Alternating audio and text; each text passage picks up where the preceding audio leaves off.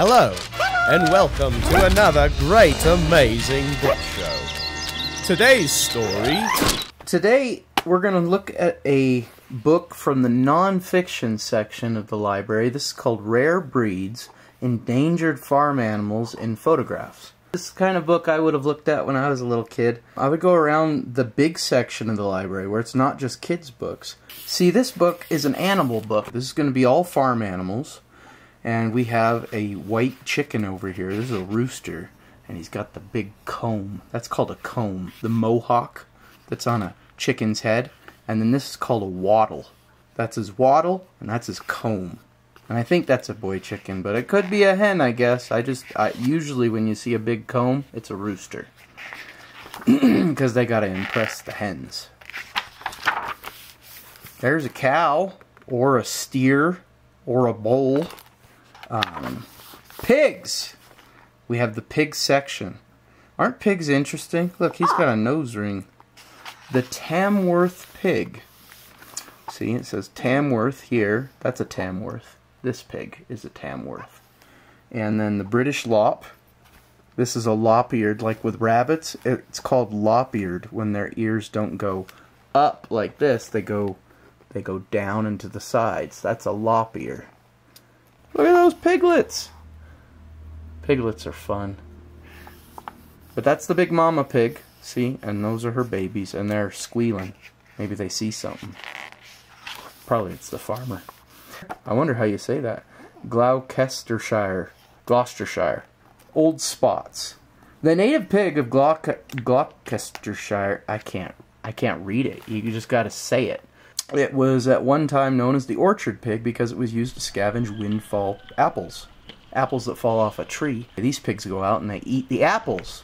That's what it says right here. You can read the captions to find out what the picture is about. Look at that ugly pig! Whoa!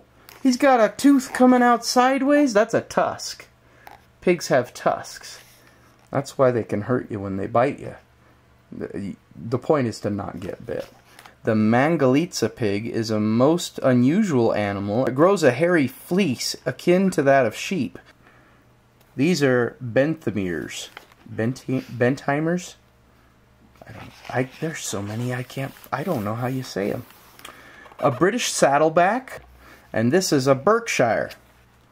A rubbed anyway, lots of names. Let's look at some pictures, I guess.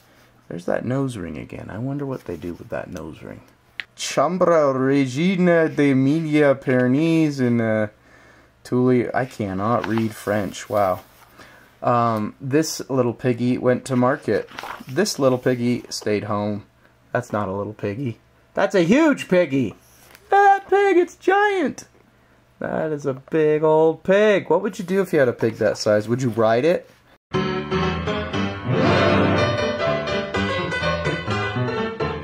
Look how short his nose is. Most pigs have a longer nose than that. I don't know if any pig really has a long nose, but that is a very short nose.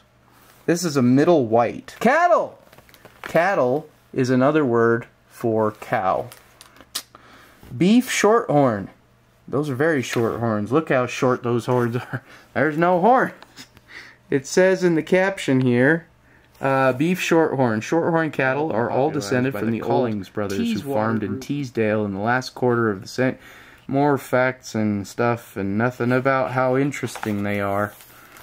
Look at how much milk is in the back end of this cow. Wow. You can make some cheese out of that.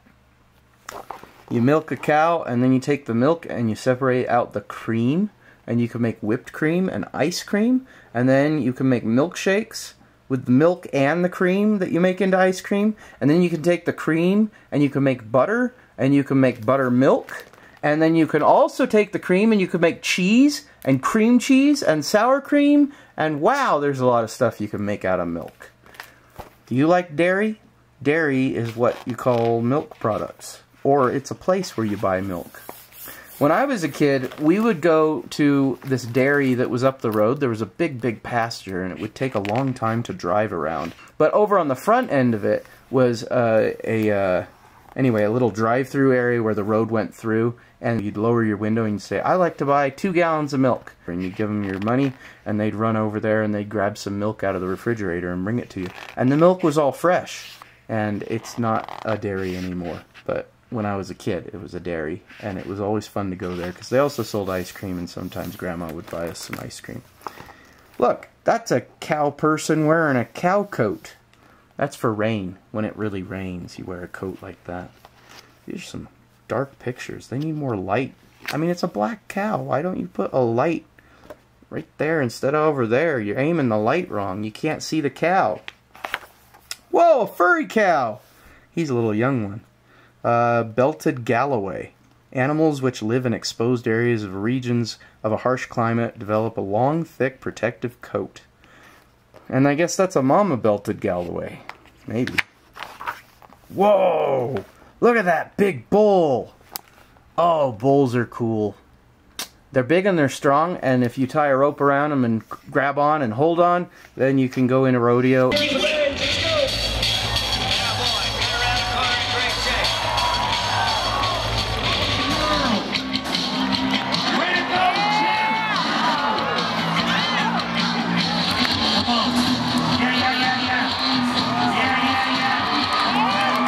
If you ride them for eight seconds and do a really good job, they'll give you a medal.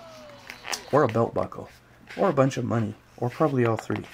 But yeah, he doesn't look like he's going to ride him. He looks like he's going to try and make sure the bull stays calm and is nice. But yeah, you got to have bulls if you're going to make more cows. Bulls and cows. The bull is the daddy and the cow is the mommy. Hey, look! A Highland! These are so fun. I love that long reddish hair, don't you? Don't you think that's a neat looking cow? Looks like it came out of the Ice Age, like a woolly mammoth or something. Do you know what a mastodon is? A mastodon or a woolly mammoth? Here's some pictures of those. Um, yeah, during the Ice Age, animals had fur like this. This is a highland. This is not extinct. Mastodons and woolly mammoths aren't around anymore. They're like dinosaurs. They're gone. But these guys are still around. They might have made these recently, though. It says Highland or Keel uh, cattle. Their alternative name is derived from the practice of droving the animal from west the Western Isles to the mainland of Scotland by swimming them over the Straits of Kyle, uh, separating the areas of land. They swim them? That's cool! Wow! When you herd these cowboys, they'll, they'll herd cattle, you know, they chase them and they send them around, but those things swim. Wow, that is a really pretty cow too. That's the mama cow and that's the calf. Look at that cow! Horns come forward to meet you. That's the longhorn. When a breed is endangered, it must be promoted. Jill is a frequent visitor to the show. Vitally important, and modern technology can be of assistance. That is not interesting, is it? There's another longhorn cow. Look how pretty it is. I really like that. That is a neat looking cow. If I could have a cow like that, I would get one of those.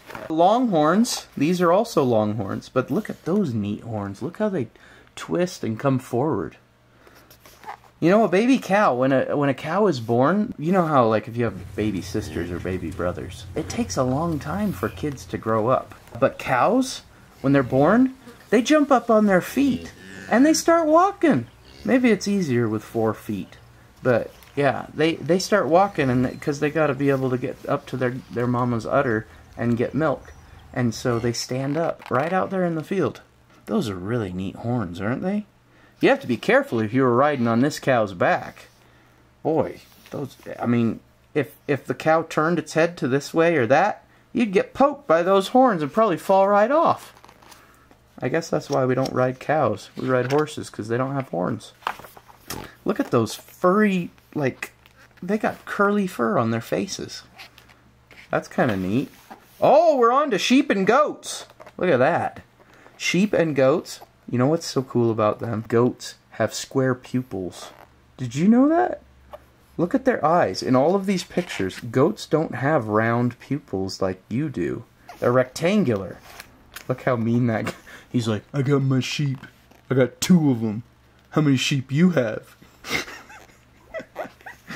it's a good pose. Those are show sheep. Look how pretty they are. They've got black little legs, and then they've got furry, furry backs, and you take a you take clippers like you get a haircut with, and you cut their hair, and then you can make a sweater out of their fur, and they'll grow more. It doesn't hurt them at all. They like a they like to get a haircut, I think, because it probably feels good, like when you get a haircut. This little one's called a Baldwin. Or his name is Baldwin. I'm not sure. Look at those horns! He's about to grow his horns into his eye. Would you like to have a sheep like that? Imagine walking a sheep like that around your neighborhood. Say, this is my pet sheep. Look at those rectangular pupils. Do you think they see different? I wonder what they see when they see. You know, their horns are shaped like this. Do you know why? Um, it's because they like to butt heads. They like to slam into each other. So they put their head down, and this whole part is very flat. And then the horns curl back and get out of the way, but they're very, very thick. So they can slam into their heads and not hurt their heads. If you do that, though, it will really hurt. Don't slam your head into anybody else, because it will really hurt your head. Because you're not a sheep. But sheep love to. Wow! That is a really thick sheep. Look at that thick, thick fleece. The It's not fur, it's called wool. Um, and it's kind of got an oil to it called lanolin. And you can use lanolin to help when you get chapped, uh, like knuckles. It can help your hands to get softer. Yeah, there's just so many useful things about sheep. Look at this ram. He's got yellow horns. That guy's talking to him, I think. He says, "You're a good ram. Let me let me just get you to stand here so we can take a picture of you quickly. Don't worry. Don't no. Don't bat. Don't butt my head. Ow! Look, that's like a shaggy dog sheep. Do you know why sheep dogs look like sheep dogs? so they'll look like sheep. That sheep looks like the sheep dog. Maybe it is. No, he's got hoofs. See? So he must be a sheep. And this guy, he got a red ribbon for for showing this beautiful sheep. It's called a grey-faced Dartmoor. Most long wool breeds in Britain, that's England, uh, most long wool breeds were influenced to some degree by the Dishley Leicester Leicester uh boy oh boy I can't pronounce anything from England anyway this two shear twin ram has the coarse wavy wool and powerful head and neck typical of the breed his owner, Mr. J. W. Mead, carries a typical shepherd's crook. That's a shepherd's crook, not a walking cane, although he probably does both. Uh, but that shepherd's crook is so he can tell the sheep, like, oh, don't go that way, go this way. That's called a Wensleydale. It's also got long curly hair. It's even curlier, though. Some sometimes there's kids with curly hair like this. Wow! Look at that. That's the sheep from the front of the cover. Yep. It's got his tongue out. Look at that. I wonder if they pant like a dog when they get hot. It looks like it would be hot wearing a coat like that. Look! His owner is furry too! this guy doesn't have a beard though. He's holding on to him though. This is the poise that you want your sheep to have when you go to a sheep show. You want your sheep to stand regally like a statue. And they take the fleece um, and they'll dye it all kinds of different colors because maybe you don't want a white or a black sweater. But what if you could have that brown sweater? Wouldn't that be a neat sweater to have? I would love to have just a natural brown sweater from that sheep. Maybe not. Maybe people would be like, you look like a tree or something. You're the same color as tree bark. Hey, look! Half of that, half of that goat is white and half is black. The Schwartz, Schwarzwald or Schwa? I can't say it. I cannot say the word. Oh, well, anyway. Wow. That is a neat looking goat. Wow. Look at that hairstyle. Except it's not hair, it's horns. That is a neat look. That looks like out of a Dr. Seuss book. Look, that one's got twisty horns too. What if you could have a sheep like that? You could put an ice cream cone on each one. You could put ice cream all over the... That would be sticky, I bet. Golden Guernseys are a dairy breed, and where, where they are kept in groups indoors, it is safer for them to not have horns, as they can inflict severe damage on each other. Ow. They can stab each other with their horns, so they cut their horns. But a golden Guernsey, they're a milk goat. You wouldn't milk him because he's a boy goat, but a girl goat you could milk her and then make goat cheese. This is also a boy goat. We're to the horses. Do you like horses? I don't know why I like horses so much. I think it's that you can ride them, but I've also met some horses in my life, and I always liked them. You know how with dogs, to make a friend with a dog, you just give them treats. If you give them treats that they really like, they'll just like you so much, they'll be your family. Uh, but with a horse, horses care more about being friends with you uh, and trusting you than they do about getting treats. They say that a horse needs to know that it's safe with you. They're such big animals, you would think that they wouldn't be afraid of much. And some of them aren't. Some of them can be very powerful and they'll kick your head in. But, you know, uh, a big horse wants to have a herd and they need to stay in a group to stay safe. So when you want to train a horse, you teach the horse that you're its friend and that it can trust you. You really got to take care of them. Wow! Look at that donkey. Enjoys close communication with its handler. This guy's wearing a French, that's a, a French kind of jacket to wear. I wonder if he's really short or if it's just a really big donkey. I wonder how tall that donkey is. Oh, that's the end of horses already? Oh. Did you know that the word poultry means chickens? Have you ever heard that word, poultry? What a weird word, huh? Poultry. Well, chickens. Here we go. It's sort of laying over. It's a comb over. A silver Dorking? Oh, that's from the other page. No, that is. This is a silver Dorking. That one's called a Derbyshire Red Cap. The other one's a Norfolk Grey. See, chickens don't have ear lobes. Like, if you grab the side of your head, you've got an ear. Uh, but you can see where the, the tympanic lobe is what it's called. I think, pretty sure. Uh, on a chicken, they don't have ears that stick out like you and me, but they do have ears and they can hear. Right through that area is where they hear from. This one's called a Jubilee Indian game hen, and it's got really thick legs. I bet it's a pretty big chicken. Looks like a heavy chicken. Wow, that one is two. Look how big those feet are. Nope. Not a giant chicken, a tiny chicken with normal, almost normal sized feet. It's a black Croad Langshan. Langshan? That is a pretty rooster, don't you think? He's all black, but I really do like him. I think he's a neat looking bird. Roosters are kind of funny. Sometimes they're nice, and sometimes they are the meanest thing on earth.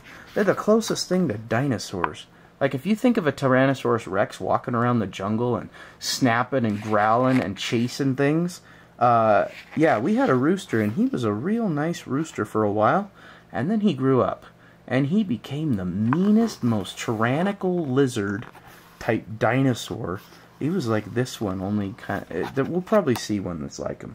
Uh, he was brown. He had like brown up here and green on his green on his wing. He was really pretty, but boy, yeah, that's what he looked like. Except his comb went straight up, not like this one where it's going all over. And he was so mean. He would bite you. He would draw blood.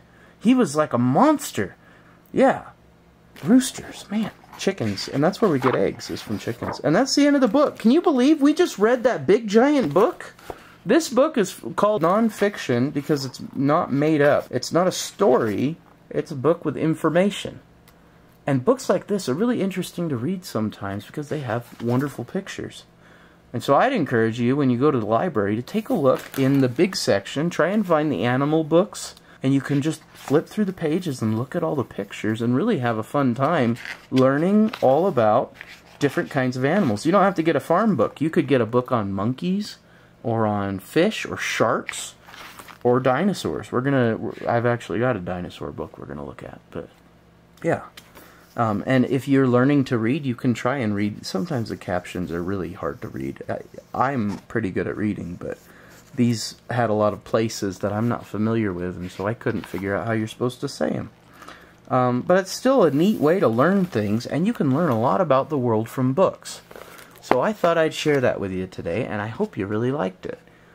We do hope you've enjoyed this great, amazing book show, and if you'd like to listen to further titles, please check out our other videos. Or subscribe and continue to enjoy more of these fascinating stories.